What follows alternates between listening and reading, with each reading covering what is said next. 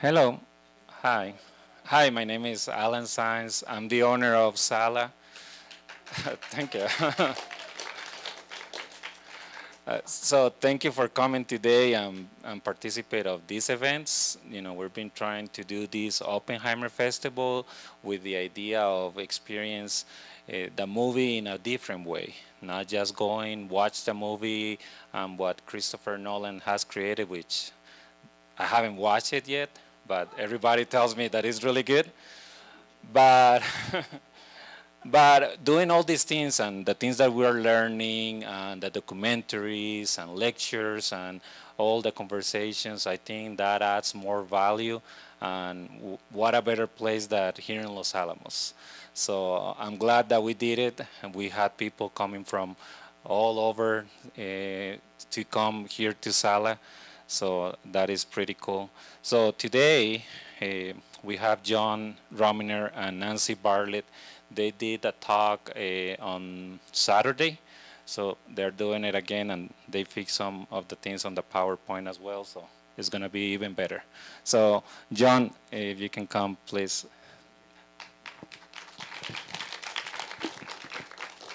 Okay, thank you, Alan. And thank you all for coming. We've got this controversial topic to talk about tonight, the decision to drop the bomb. And it's a topic with so many different opinions and, and a lot of emotion.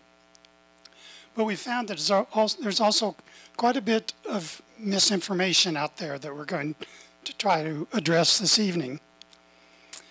It's not our intention to try to convince anybody to change their mind, but we are going to provide some historic background that you can then take into account deciding how you feel about the decision to drop the bomb.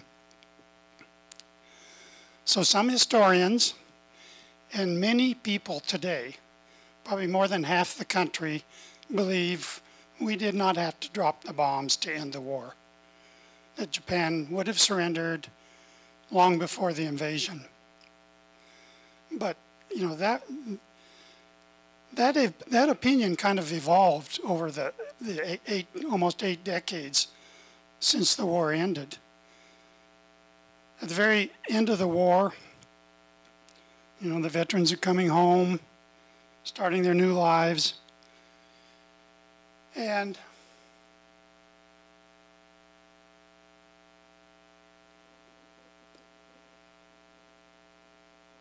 not working, Alan.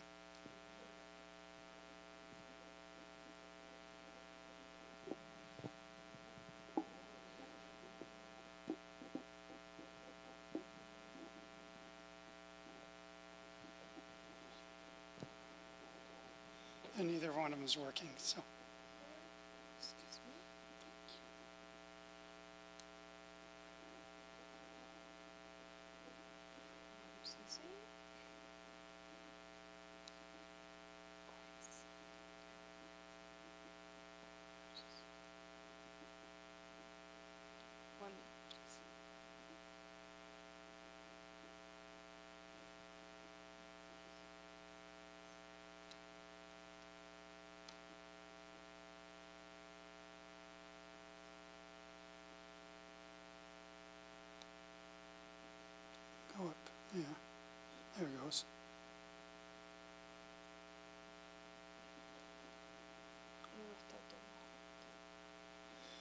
So this is all being recorded.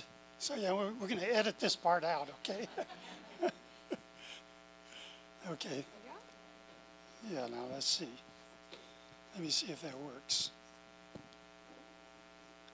Okay. Good. So anyway, um, so at the end of the war, most of the country kind of bought into the story that uh, they heard what Truman had to say and they accepted the story that the bombs kind of ended the war and avoided an invasion that would have cost hundreds of thousands or more likely maybe millions of lives, both Japanese and, um, and allies. But then you know, in the kind of early 60s, when the Cold War was heating up, and, you know, the, the Russians had the H-bomb, some scholars were taking a new look at the whole question, the whole issue. And they said, well, you know, wait a minute, you know, it, it wasn't just drop the bombs or invade. There are other events that could have caused the Japanese to surrender. You know, they say they were trying to surrender. Or we could have just continued the blockade and the bombing, and that, that would have brought them to their knees. Conventional bombing. Uh, when the Soviets invaded, that would have certainly brought about a surrender. Or why didn't we just do a demonstration? You know, a demonstration might have convinced the Japanese leaders and the rest of the world that this new weapon was so horrible that they would have surrendered. And then finally, um, you know, we could have just compromised on the uh, demand for unconditional surrender, particularly where the emperor was concerned. Hmm, that may have brought about a surrender. You know, there's some very reputable, very uh, outstanding uh, historians that fall in both camps. I know that uh, Martin Sherwin and uh, Kai Bird are kind of in this camp. Okay, um, Richard Rhodes, Richard Frank, uh, Evan Thomas, who wrote a very recent book on the subject. You know, they're up here. Okay. And then what about the Japanese? You know, how, how did they think this war was going to end? What was, what were their expectations? So I'm going to go through, you know, all these bullets, uh, give kind of the pros and cons of each one. Um, I'm going to take about almost 45 minutes, probably. And then uh, Nancy will follow with comments she has about uh, the POWs and about the targets and maybe some other topics. And then we'll be opening it up to any comments, any uh, questions, any discussion you might, might have. So I'm going to start with the Japanese. By the middle of 45, the Japanese government and their leaders, they knew they could no longer defeat the Allies. You know, their military had suffered very major defeats. Places like Saipan, Iwo Jima, uh, Okinawa, you know, we were, we were right on their doorstep. Their navy was almost destroyed. They had no air defense to speak of. Uh, their merchant fleet was at the bottom of the ocean, so they weren't bringing in supplies, either military or um, or food. Germany, by mid-June, after Okinawa, uh, Germany had already surrendered unconditionally. And the Soviets, in about March, had renounced the neutrality pact that they had with Japan. So why didn't they just surrender? You know, we may not understand it, but the fact is, they just chose a different path. Okay? And, and when I say they chose a different path, I, I don't mean the Japanese people. You know, they really didn't have that much to say about it. What I'm talking about is, you know, the they was the Supreme Council for the Direction of the War. This is six individuals, six individuals, two Army, two Navy, two diplomats. They're all like an inner cabinet. Uh, the two diplomats were the, included the prime minister and the foreign minister. Okay. So any important decision about the conduct of the war was made by this Supreme Council.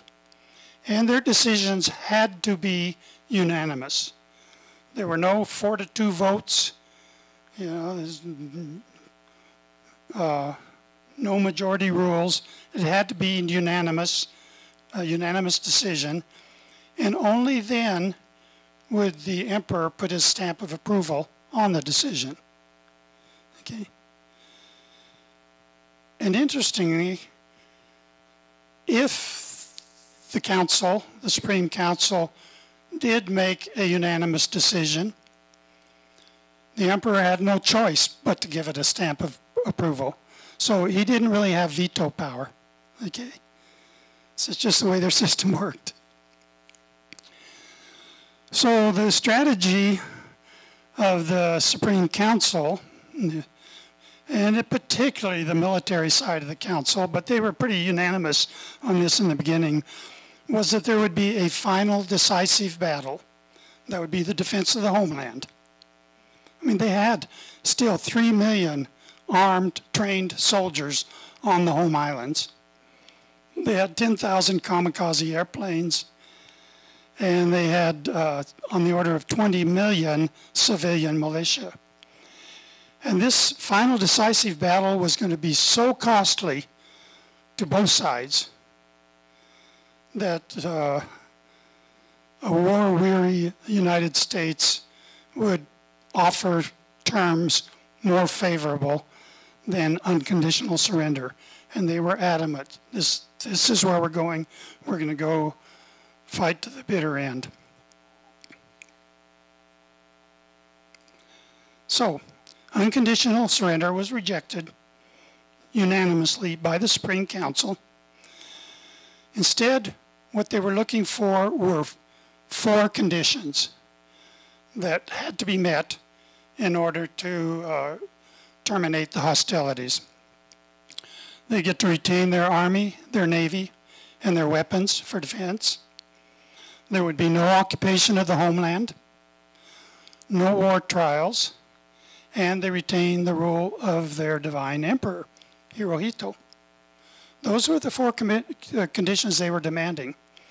And we know that because we had broken their codes, both their military and their diplomatic codes all the messaging that was going back and forth between the military leaders and the, you know, the prime minister and the emperor, we had all that information. I say we had it.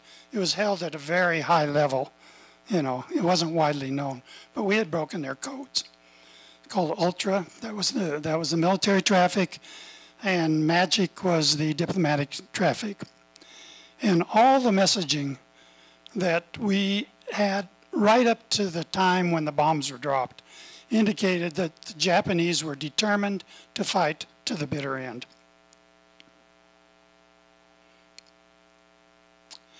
All right. What might this final decisive battle been like? I want to talk, we don't know because it never happened, but I want to compare it, what it might have been, to a couple of battles that did take place that, you know, we can, they might be similar. So the Allied plan for the invasion of the Japanese home islands was called Operation Downfall. It was to start on November 1st, 1945. And the plan was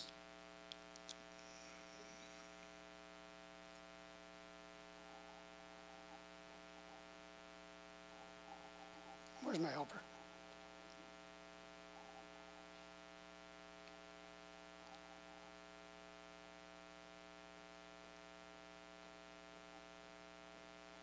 There it is. I get it. Thank you. okay, the plan was to do an amphibious landing on this island right here. That's Kyushu. As an island, it had about 8 million population. You know, major cities like uh, Nagasaki and Kokura. And our plan, Operation Downfall, was to land 750,000 Marines and soldiers on the island in an amphibious landing. And the Japanese knew, militarily, that's what made sense. They knew that was where we were going to uh, land. And so they had 750,000 of their trained soldiers on the island ready to defend the land. You kind of com uh, compare that to D-Day, which we all know was the greatest amphibious landing in the history of the world. We landed 150 soldiers, 150,000 soldiers, compared, you know, five times as many for Operation Downfall. And the defenders, 50,000 on the beach, and 750,000 Japanese defenders on the island, as well as on the order of 2 million civilian militia. Um, that was the first stage. After Kyushu, plan was to go on to the main island, Honshu, where we had 1.2 million. And uh, they were defending it with two and a quarter million soldiers and maybe 15 million civilians. Now, D-Day is not exactly the right comparison to Operation Downfall because D-Day was one day. You know, the battle for Normandy lasted a couple months. We lost, we had a hundred, we had 250,000 Allied casualties in the battle for Normandy. Germans had about the same number because we kept pouring troops in and they brought in reinforcements. So that kind of gives you an idea what it might have been like to, uh, to invade this island of Kyushu. Now, you might question, where do these civilian militia numbers come from? Well, in March of 1945, the Japanese cabinet passed a special conscription law. It created this militia unit. They called them Volunteer Fighting Forces, Corps. Every male, age 15 to 60, and every female, age 17 to 40, which was about a quarter of the population, they were expected to defend the homeland with their lives. They were armed with bamboo sticks and porch port and uh, rocks and whatnot. But they were, and sometimes you could be used as a shield for the rest of the army. And they were in, expected not only to defend the landing forces, but then eventually form guerrilla units in the cities, the towns, and the mountains. So a much, probably much better comparison to what Operation Downfall might have been like on the island of Kyushu was if we look at the Battle of Okinawa. The Battle of Okinawa went, was two and a half months from April to June 1945. There was a land battle. The Americans landed about 180,000 troops. The Japanese had 130,000 defenders. Our casualties were 49,000. They didn't have as many casualties because they had many more fatalities because the Japanese soldier you know, fought to the bitter end. But here's one of the big differences now. On D-Day, we're landing forces in France where the civilian population is welcoming us, you know, and friendly. Here, we're landing uh, on an island, Okinawa, where uh, the inhabitants consider us to be monsters and very, very unfriendly. So there was a civilian population of Okinawa of about 300,000, and the Okinawa civilian deaths were about 100,000. Now the different estimates range from about 75,000 to 150,000 but most of them said 100,000. That's like a third of the population gave their life in different ways to defend the island. So to say that a quarter of the population might come into play as a civilian militia is, is not out of line. The other thing that was very different about the battle for Okinawa was there was an enormous naval battle. We had an armada of 1,200 Allied ships surrounding Okinawa, 40 aircraft carriers, 18 battleships, almost 200 destroyers. And it just shows you how, how much this war had escalated. Um, and the Japanese introduced this new defensive weapon, the kamikaze aircraft. They had done, they had used kamikazes in earlier battles, but never to this extent. Never waves after waves of hundreds of uh, aircraft uh, going after our ships. And the losses, we had over 400 ships damaged or sunk.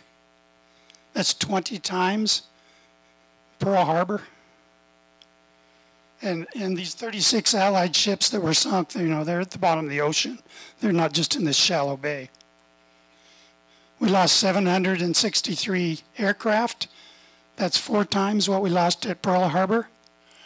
And um, we lost 4,900 sailors.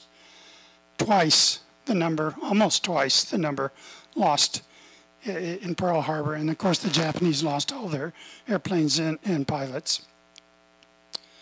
So this war had escalated just tremendously. I mean, there are already 60 million fatalities in World War II. It's, it's really hard to realize how bad, how horrible things were. All right. Um, well, as I said, in the 60s, people started looking, you know, maybe there's other choices. Maybe we didn't have to drop the bombs, maybe we didn't have to invade. So I'm going to go through five of the more common uh, uh, choices that are speculated that uh, might have happened. And the first one is the one you hear most often. Japan was ready to surrender. They were approaching the Soviets as mediators. Almost anybody that uh, is, is opposed to having used the bombs in the war. This is the first sentence they come up with. Um, and it's kind of upsets me because it's historically just inaccurate. Just, they were not asking to surrender. They were seeking some kind of negotiated settlement based on those four conditions that I mentioned and they were absolutely adamant. And, and those conditions were completely unacceptable to, to the Allies. Okay?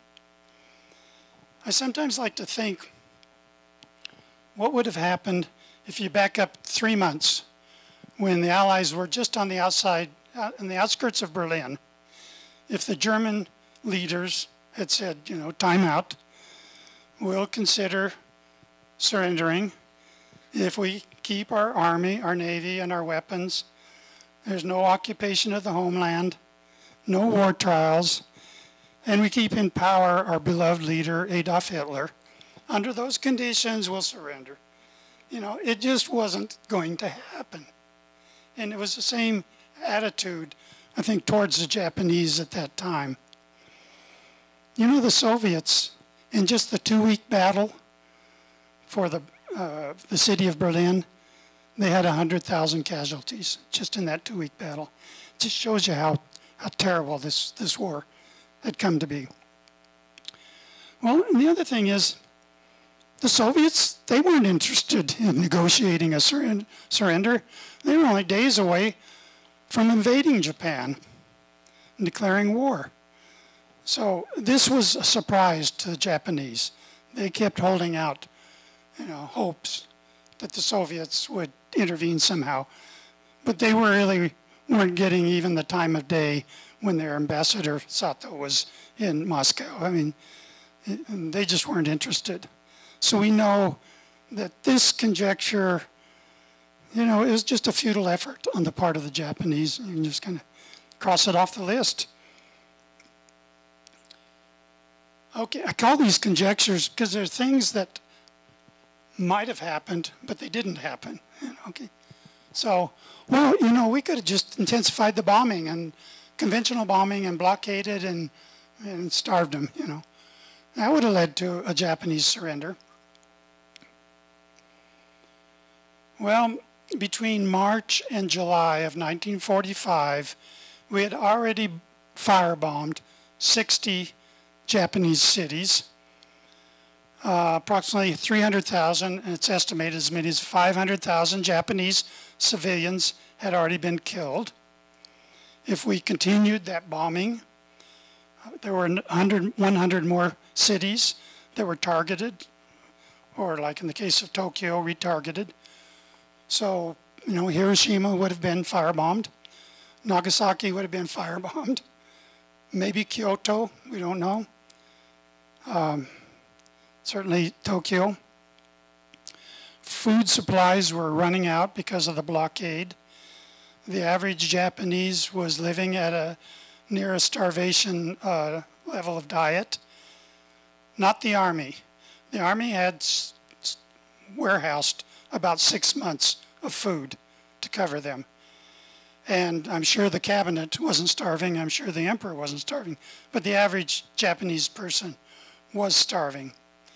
And yet, as of August 1st, there was no indication of a change in the Japanese determination to fight to, you know, the final decisive battle.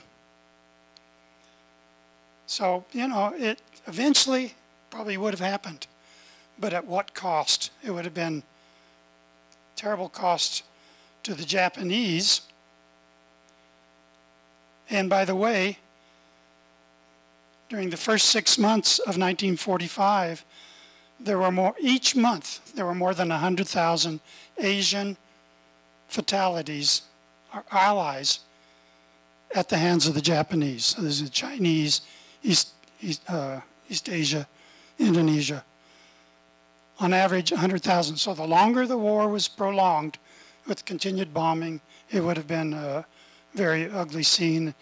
And plus you wonder what they might have started doing with the uh, POWs. I think uh, Nancy may want to talk about that. So conjecture number three, well, you know, the Soviet invasion of Manchuria, that would have, that would have caused them to surrender.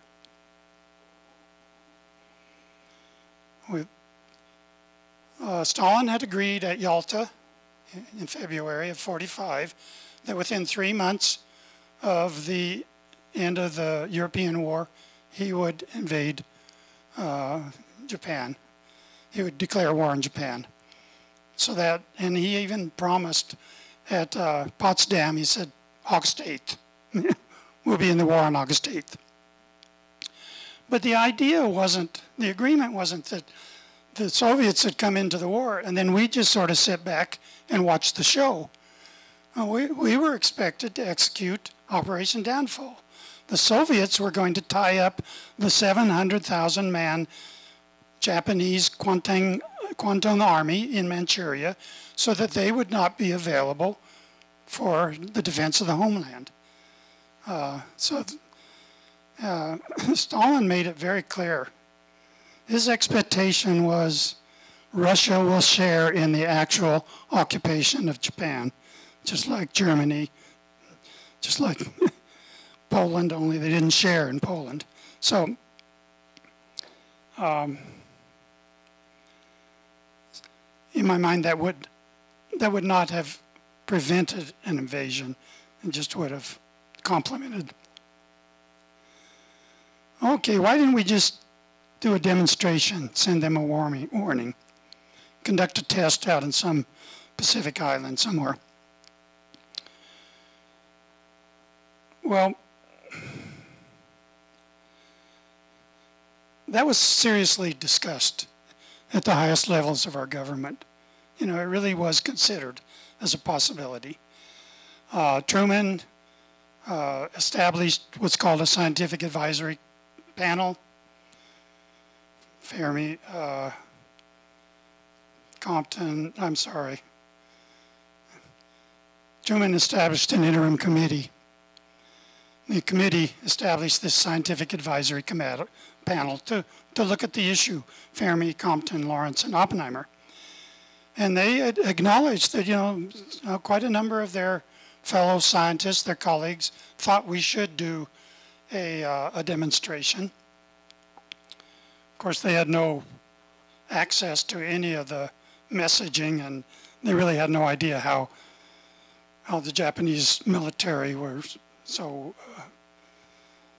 uh, determined. But anyway, the scientific advisory panel said we can see no tep. They concluded unanimously we can see no technical demonstration likely to bring an end to the war. We see no acceptable alternative to direct military use. And then the interim committee made their report and they said use the bombs against Japan at the earliest opportunity without warning against a dual, tar dual target. So conjecture number five. Japanese would have surrendered if we had just compromised regarding the emperor on the demand uh, for unconditional surrender.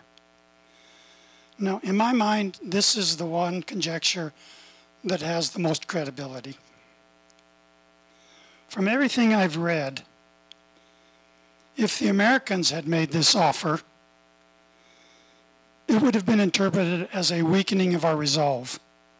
You know, if we just hang in there a little further, they're already compromising, hang in there a little longer, and we'll get better terms. And besides, it would have been really unpopular in the United States if, if Truman had made that offer. Um, 90% American people wanted Hirohito tried as a war criminal. 50% wanted him executed. However, if the Japanese had made the offer, let's say right after, right after Okinawa in June, if they had made the offer, I think there's a very good possibility that it would, it would have been accepted because Truman's top advisors, Stimson, Secretary of War, Grew, Acting Secretary of State, they were actively promoting the idea, and Marshall and Leahy, Army and Navy, they were kind of receptive to the possibility, favorably inclined, because they knew that the influence of the emperor would be needed to get the compliance of this. There was five million man army out scattered around the Pacific, Japanese, and and you know, 80 million Japanese civilians to get their compliance with the surrender. They knew the emperor's influence would be absolutely critical, and they were right. But the Japanese didn't make the offer. That's what's so sad about this. I think both sides were this close, but neither side wanted to blink, you know. Could have avoided the bombs, could have avoided Russia entry into the war, could have avoided the invasion. But it didn't happen. So what did happen? August 6th, uh, dropped the bomb on Hiroshima. August 8th, one minute before midnight, the Soviet Union declared war on Japan, and one minute after midnight, they invaded Manchuria with like 1.2 million soldiers. And then on three hours after midnight is when uh, the Bockscar took off from Tinian with the uh, plutonium bomb and uh, Nagasaki was bombed. And six days later, Japan surrendered. To his credit, Emperor Hito, Hirohito, broke, on, broke with tradition. Even after the two bombs and the Soviets had entered the war, the Supreme War Council was still split three to three as to whether to surrender or carry on to the fi final decisive battle. The, uh, the emperor knew that his country would be destroyed, his people would be destroyed. So he gave his famous speech, you know, the war situation has developed not necessarily to Japan's advantage. The enemy has developed a new and most cruel bomb There, there was no mention of the Russian invasion in his speech, by, by the way. But the Japanese people are now going to have to endure the unendurable and suffer the unsufferable. And he surrendered, and the Japanese did indeed comply. Now, full disclosure here, I have kind of a, like a personal stake in this whole issue. My, my father was in the Navy and during World War II.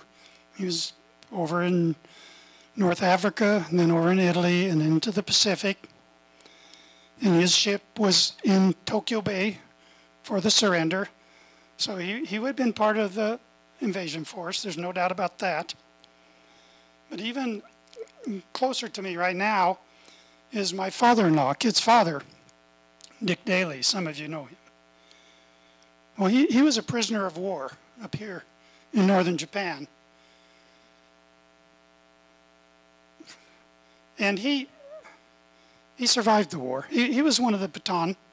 He survived the Battle of Bataan, was in prisoner of war camps in the Philippines, put on the hell ships, sent to Japan, and sent to a couple camps there in Japan.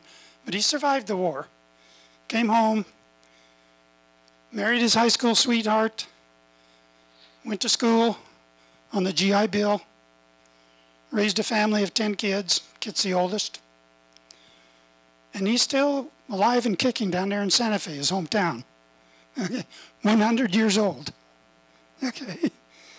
So, yeah. Yeah. He's, he's a remarkable man in many ways. Of, of, the, of all the um, 1800 New Mexico National Guard, there's only two left. Okay. He's one, he's one of the two.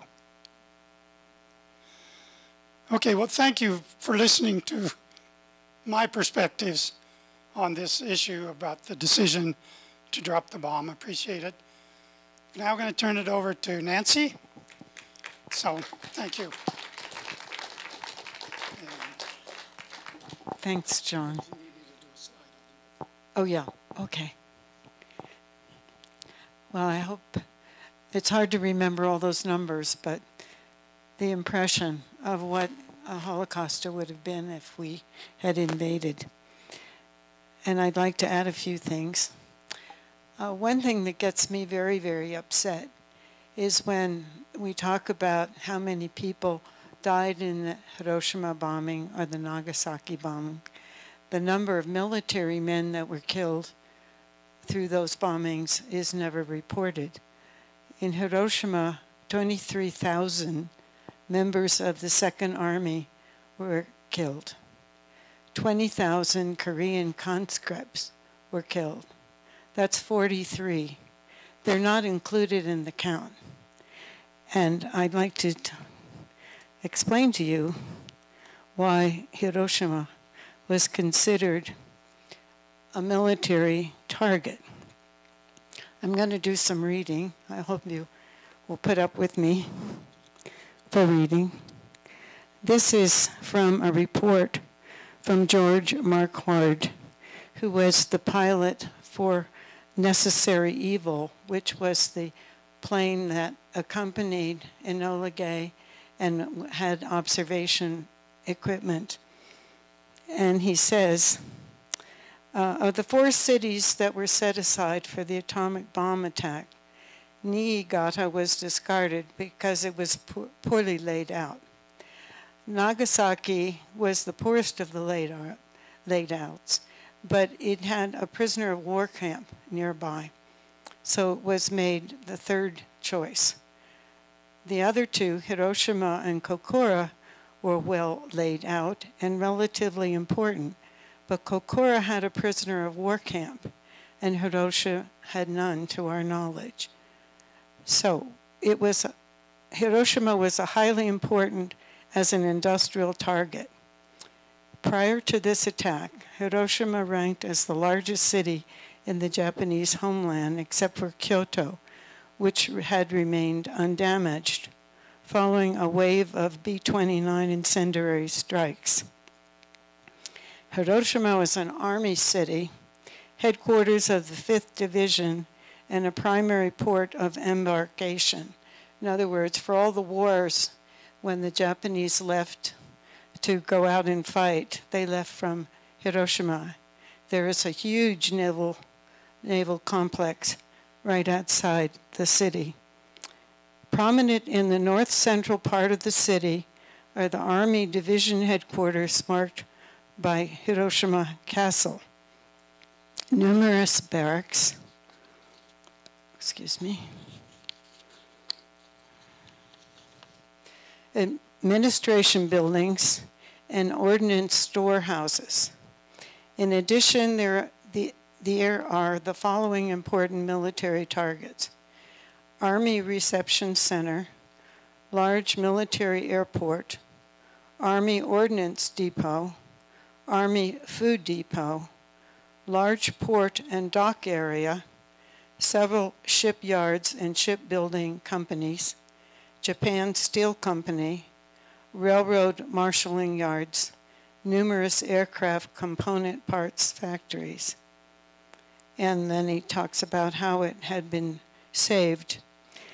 Now, also, when I visited the Japanese Museum in Hiroshima in 2001, on the, this is, I took pictures of the various posters. And it says, by the end of the war, most of Japan's major cities had been destroyed by the U.S. air attacks. As John had said, over 60 cities had been destroyed. The reasons Hiroshima was chosen as the target or the A bombing are assumed to be the following. This is the Japanese reasoning. The size and the shape of the city was suited to the destructive power of the A bomb because it had not been bombed before, ascertaining the effects of the A bomb would be relatively easy. Hiroshima had a high concentration of troops, military facilities, and military factories that had not yet been subject to significant damage. And that's the Japanese telling the story. So that's part of what I want to say. Um, John, could you put Carlsbad up?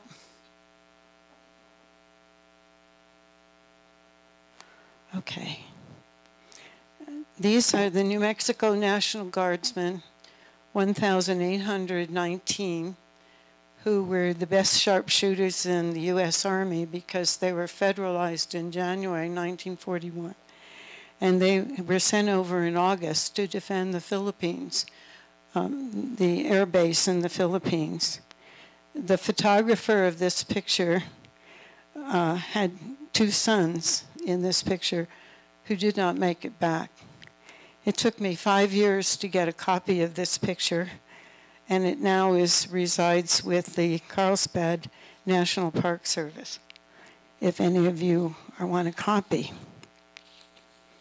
So these gentlemen who defended us on, on the day of Pearl Harbor, Japan attacked many other countries at the same time. And in the Philippines, at Clark Base, they were waiting for the uh, the uh, Japanese planes to come.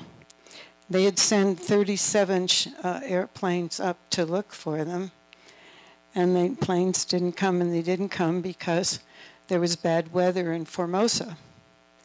So finally, they were running out of fuel. They came back and they landed. The pilots went in for lunch while the planes were being refueled, and the Japanese Zeros and Mitsubishi came, and they just strafed the planes and totally destroyed everything. Was in a row. So no longer the men had to defend an air, an air uh, base. And so they went down south to defend the Philippines. And then they went down south into what we call the Bataan Peninsula. And these men, uh, only we only lost 20 of them in four months fighting with the Japanese. But then the Japanese brought in a quarter of a million troops, and we they were surrendered. So they were POWs uh, left in the Philippines and put in those hell ships. 11,000 of them were killed by our pilots bombing the ships that were not marked with the Red Cross cross. And so they thought, our people, our guys thought that they were carrying uh, supplies, etc. That's another story. I give a whole lecture on it for an hour. But today I'm going to highlight the, um, many of them died because of maltreatment, lack of food. Uh, you heard about the Bataan Death March. Um, we lost thousand. We lost. We were 2,000 out of 25,000 American troops and 50,000 Filipinos. There was no food to give them, but instead of letting Filipinos along the way uh, send them fruit or give them rice or let them have water, they killed anyone who stopped to get water or took food that they saw. Um, they would shoot them, and then they decided they were losing their ammunition, so they started cutting their heads off or cutting them or pushing them under a truck where they were flattened. So uh, that's that story. Um, show show the um, number of POW camps it's pretty hard to miss a POW camp when you destroy 60 cities. But there they were. In, in the summer of 44, the Japanese commanders sent out an all-kill uh, command to all the commanders of the camps. I'm looking for my title here. And excuse me. Um,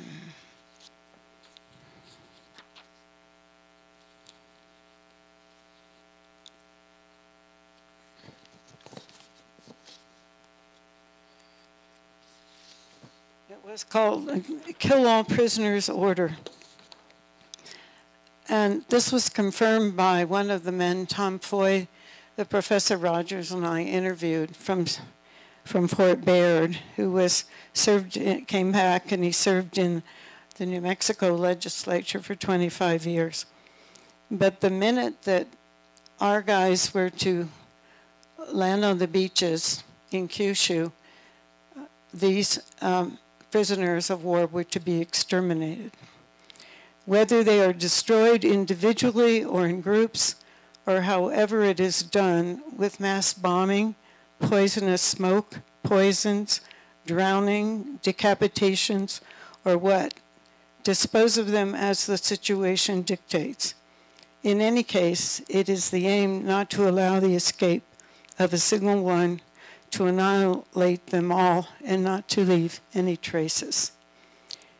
And one of the examples that we knew about was 145 men dug their own trenches and they were told to get into the trenches and they threw gasoline on them and they lit them on fire. And there were five men who escaped um, out of a, a, an area when the American POWs were digging the trenches five feet deep. Um, they had an escape and they fell, they slid down a cliff and the Japanese would try to kill any of them with machine guns, and those that got in the water were also shot. So five escaped, and the guerrillas saved them, and then another five were found. But then they finally made it back to MacArthur's headquarters, protected by the guerrillas, the Filipino guerrillas. Their story needs to be told. And the massacre, and we knew about that. So when MacArthur's troops were coming, eh, you know, I shall return. This is a wonderful, wonderful book, Ghost Soldiers by Hampton Sides. It tells about the rescue of 515, 16 uh, POWs who had been left in the Philippines in Cabanatuan, and um, they're barely alive. They were dying daily. Uh, but this is a wonderful book, and the Sixth Army rescued them. MacArthur stopped the troops for a day. Um, there's one of the fellows that worked at the lab who was in MacArthur's group that told about having nothing to do for a day, but they were stopped because, uh, and and their rescue is is another story to be told, a film to be made. And those men would not have come home. He wouldn't have married Kit. um, and that's pretty much what I want to say, except that in September, I've been invited to give a talk uh, at the Los Alamos Historical Society fall series, lecture series. And I plan to talk about Japan's longest day. John has talked some about the decision, unanimous decision that had to be made, and and how it was finally agreed to. But he hasn't told you about the army uh, having a coup and almost stopping the emperor's message from being broadcast. And in fact, the, um, the commander, Mori, who was um, in charge of, of the area where the emperor was kept during the war, was murdered. And they took his hanko, you know, the stamp, and they had another message to send out to the troops all around Asia, which was continue your fighting. Anyway, it's another wonderful story, and I'd like to share it with you all because I want Los Alamos to get into the skin of the Japanese thinking and why the bombs were necessary to end the war. Um, a number of them have people have said or quoted ministers who were part of the decision that the bombs allowed the leaders to tell the populace that we had we were superior in science, but the Japanese military were not defeated by the Americans. They could still keep the belief that they had never lost a war because of their military, prowess. And so um, some of them said it was, it was a miracle that helped the, those on the, the three people who were trying out of that uh, six body, six person body to um, try to stop the war, find a way to stop the war. And the bombs were it. So I will stop there and we will entertain any discussion, sharing ideas, um, asking questions, whatever.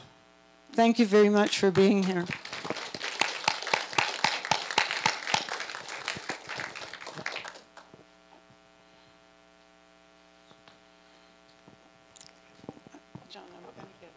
Excellent talk by both of you. Um, question for either one of you out of the 1,800 New Mexican uh, National Guardsmen, how many came home? About half. Uh, it, I've seen uh, 500, 900, that's what I had in my book from 2004, but I've seen a more recent number that it was more in, uh, around 600 some. But I've also seen, and we lost about a third in the first year or two because of their the treatment that, that their bodies had gotten. Um, but we just lost, recently we lost the governor of Taos, and he was over 100. A number of men have lived to be 100. The one other one that I'm aware of that lives in Alamogordo now his name is De Herrera. He's 103. it's tough. Those guys are tough, you know, really. I mean, they had every disease you can imagine, you know, tropical disease, and they survived and got on with their lives. I'm, I'm curious about when the um, kill order was given, how many Allied prisoners were there in Japan at the time, and how many of them actually were killed? Diane, I did not, I did not plant this question, but I have a sheet. um, this comes from Richard Frank's uh, book. In um, January of 1944, there were 12,700 U.S. POWs, they think.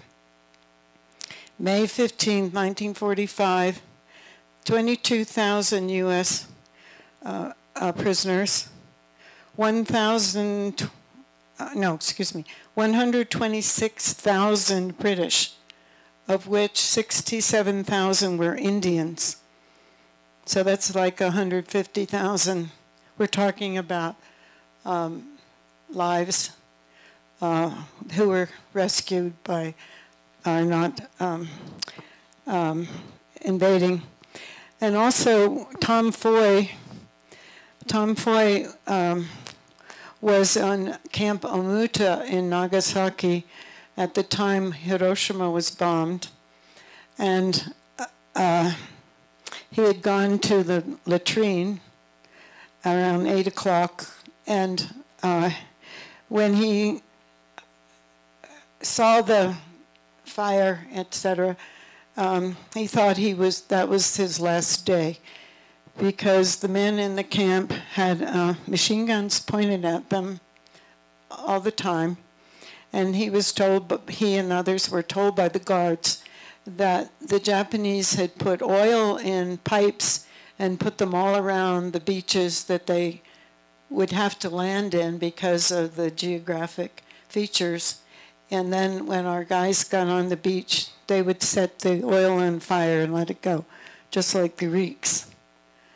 And um, so that's the answer now.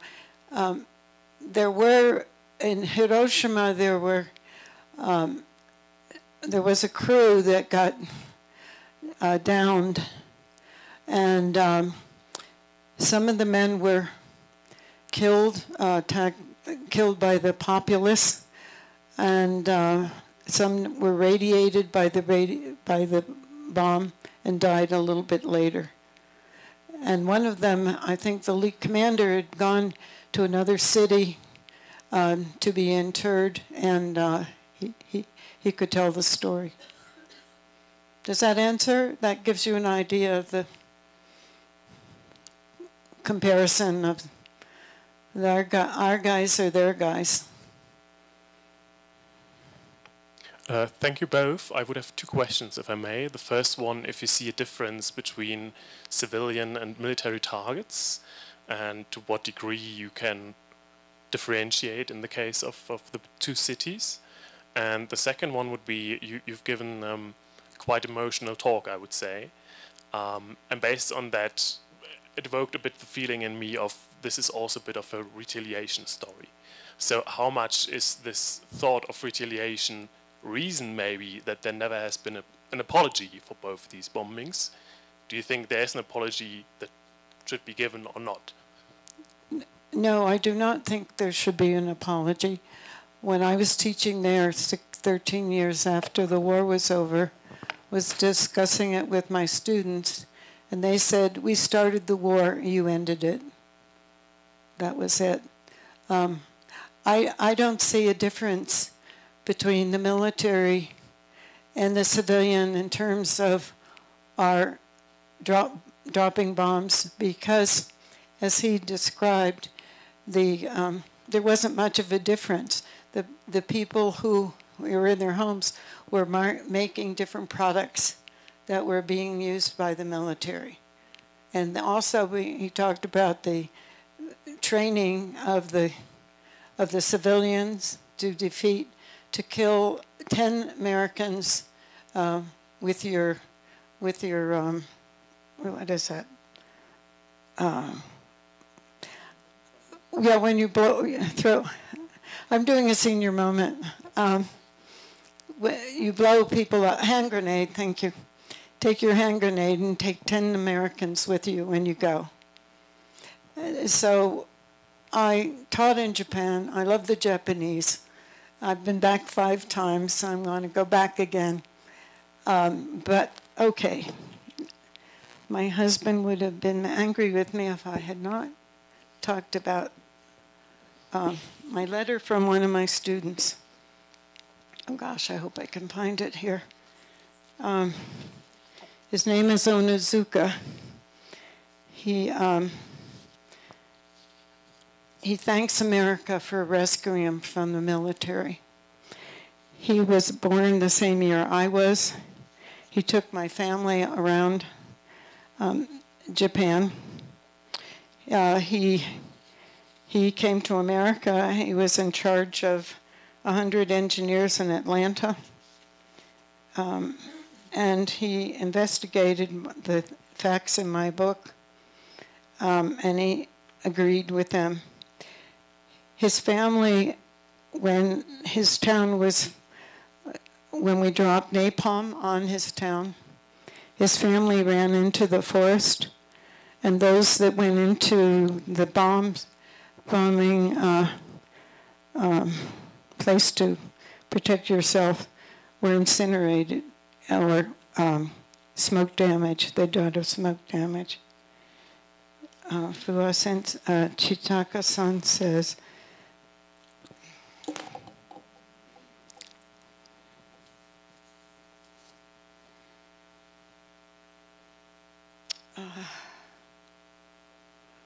one of my high school teachers who taught English at Utsunomiya High School, that's where he went, told us statistic atrocities were prosecuted even on Japanese troops in Burma battle lines in the jungle, and huge number of Japanese soldiers died there under very bad circumstances of high temperature, high humidity, tropical diseases, little food, and few weapons. He used to work for Japanese army as a military dependent interpreter. I was told also that banzai charges were many times implemented by Japanese snipers, aiming at French soldiers behind from their back and only to go forward. Uh,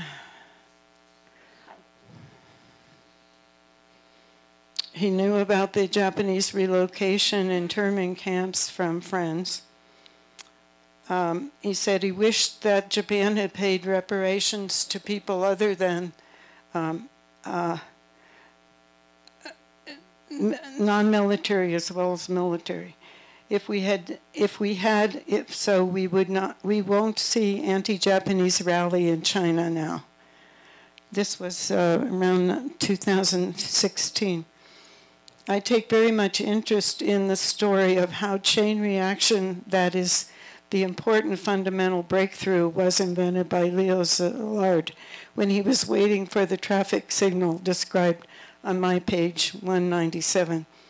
It teaches us in, invention or breakthrough will be made by individual and not by majority. The genius scientists listed up in your book are all well known worldwidely in the textbooks used in technical schools. I knew these names in the textbook used at the Tohoku University in Sendai. When the atomic bomb was dropped at Hiroshima, people told an unusual and mysterious bomb blasted and wondered what it was. Dr. Hantaro Nagaoka, who was the top scientist in Japan at that time, said, It may be an atomic bomb, but if it is true, the advent of it was too early and unbelievable. And he says again, he also says, I really feel some invisible power that may be called God did not stand at atrocious and fanatic dictators like Hitler in Germany or Tojo and his fanatic militants in Japan. Germany was once in the position most closely to reach atomic bomb, but in vain. I am happy we were liberated from these brutal dictators by Allied forces, mainly consisting of the US and Britain. And then there are a few other things. from, from everything I've read, Truman's intention was to end the war as quickly as possible with as few casualties to, to, to Americans. But they felt it would take a shock effect, you know, because again, they knew how recalcitrant the Japanese military were in particular and how they were looking forward to this final battle. So um, to drop the bombs one after the other, two of them, uh, was to create this shock effect in the hopes that it would have the effect that it did. And in fact, it, it, it, that was what caused the emperor to declare it was his divine will that the Japanese surrender and accept the Potsdam Declaration. Without that divine will, the, material, the, the military would not have surrendered at that time. Sorry, I have, I have the mic. Sorry. Where- where is it? And then I will pass it on. um, Nancy, I was just wondering whether you could, you spent a lot of time in Japan also teaching there, um, whether you could maybe share some stories of, you already have with the letter, but um, kind of how you, as an American, investigating and talking to people about what happened, um, how that was received, and also um, whether maybe there was also some hostility from you asking these questions or wanting to find out more about these things. Okay, oh golly. Sorry. all kinds of things run through my head. Um, I was well received. I was a teacher. In Japan, a teacher is higher than anybody else, or someone who goes to your college, your alumni. Um, and so I, um, in the Monday night, I, I would uh, be taken to the institute, scientific institute. The, they would send a car, and I filled in for a, a, a British gal who had left, and she had a class of, I, I want to say 60, but I think it was more like 40 men who's with, and the oldest student was 60 years old. And um, when we were leaving class, I would let him go first because he was my elder. No, I'm his sensei, so I'm supposed to go first. And so back and we went back and forth. And finally, I went first. Um, we were Americans were received very well. My and UNESCO, I taught at UNESCO, and these were young men who were engineers who were going to be sent abroad, and they needed to be able to write um, scientific reports in good English, and so we were doing English conversation. They were they were tall. they were had beautiful teeth. I could have fallen in love with them, except my sweetheart was back in America, and I'm pining away for him and writing to him every day. But if I hadn't had John on my mind, the other John, the other John, um, I would have, I, I, could have fallen in love with him, with one of them. Um, but I swore I would not want to cook fish and rice for breakfast for the rest of my life. And so, but the, fact that America sent wheat and milk, and those men, did, those young boys, didn't uh, grow up with their knees bent. Uh, Japan changed the way you would sit to eat, whatever. Uh, they they grew up strong and handsome. Um, let's see. Okay, another so um, when when uh, up in, uh, no um, Eisenhower was our president, and the Prime Minister Kishi was running for office again, and Kishi had been a war criminal that was never, I don't think he was ever tried, but America used leaders, even though they had some problems with what they did during the war, but they, he was prime minister.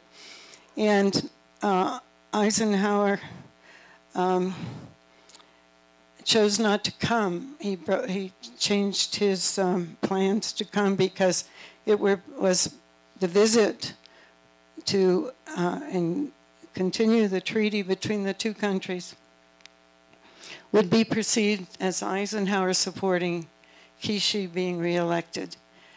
And the socialist, the socialist labor people uh, um, paraded.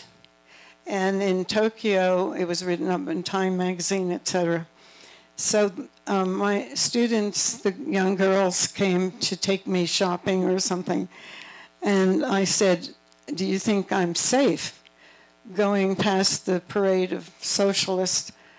And, uh, and socialists is what they were named. They weren't aggressive uh, activists.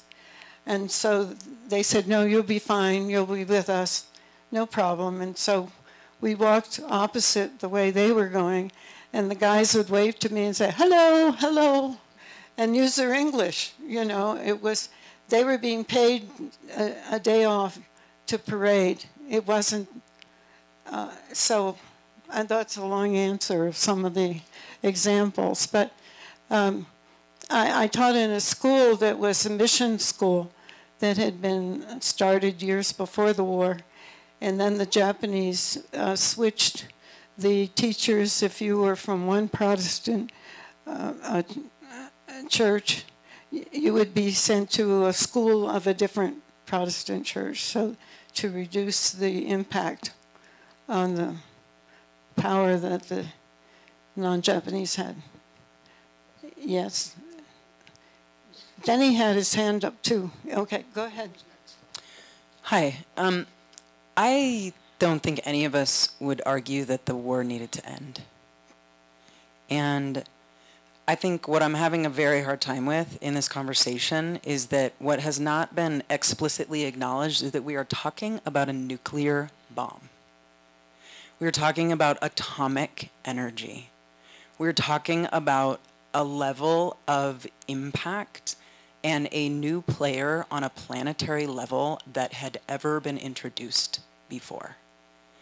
And that the angle that is being taken on this is how torturous and inhumane the Japanese were to the Americans, almost as if there is some logic that they deserved it because they were gasoline lighting troops in trenches, and there is no acknowledgement that we are at Los Alamos Lab, as a, a laboratory dedicated to the creation of nuclear energy, that we are in New Mexico, that the creation of this bomb had an impact that the atrocities and the inhumane path that led to the creation of this bomb, if we want to talk about inhumane atrocities and the way that that bomb and the uranium was experimented on the Navajo people of this land,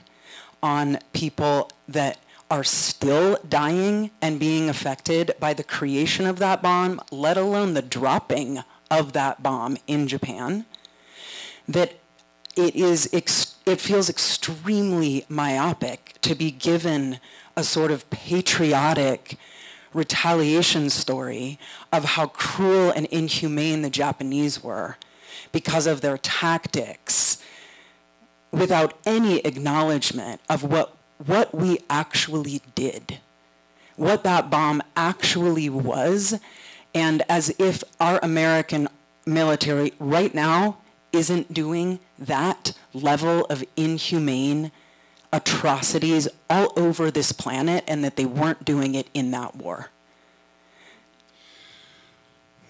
I'm an engineer.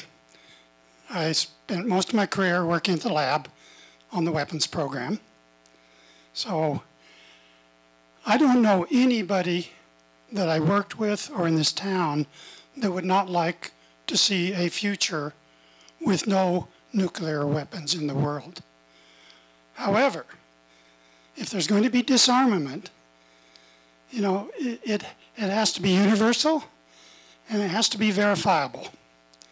It cannot be unilateral. It just, that doesn't make sense.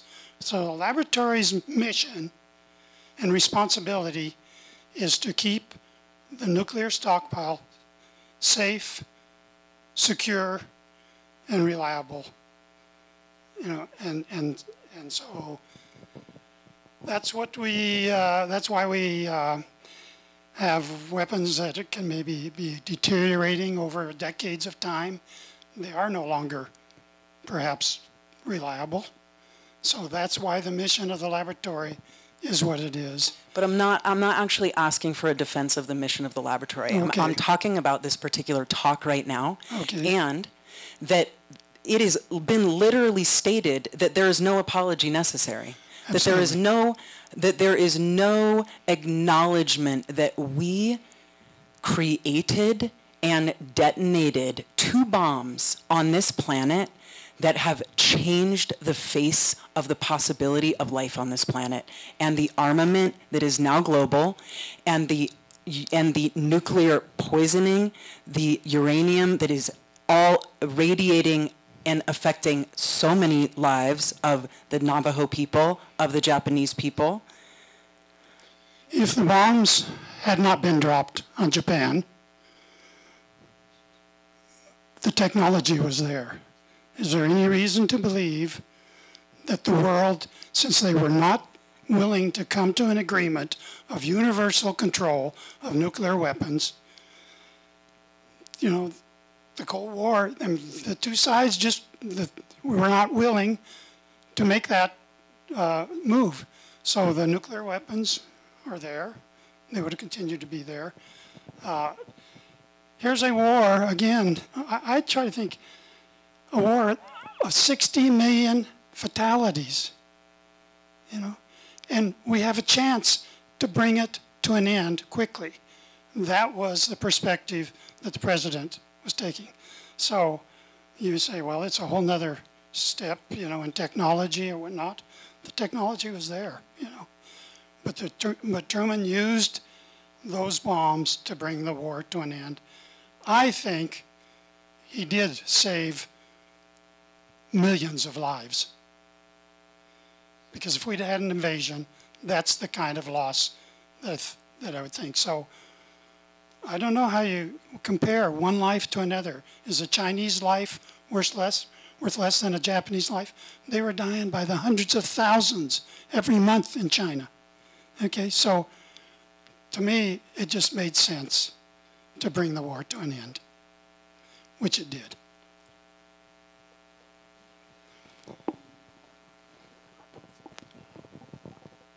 In the movie, it brings up that they dropped leaflets ahead of time to warn the civilians, and I had been aware of that before, that that was done. Is there any evidence, uh, how many people, were there any that heeded it, that were able to get out of the cities, or what, what do we know about that? There was no leaflet dropped on Hiroshima. The whole idea was, uh, as Groves expressed, was to surprise the Japanese. But there were thousands of leaflets dropped on Nagasaki and around. And the hu- mu- museum used to have, I don't know whether it still does, the Los Alamos History Museum, had copies of those leaflets and translations of those telling the people. I think people were not supposed to pick them up. They were dropped, but they weren't picked up. They were Japanese Americans who were in the MIS helped to translate and to give those messages. And so that's when you hear about the leaflets dropped. They were dropped for after Hiroshima. And it was to be, that's also an argument to not do a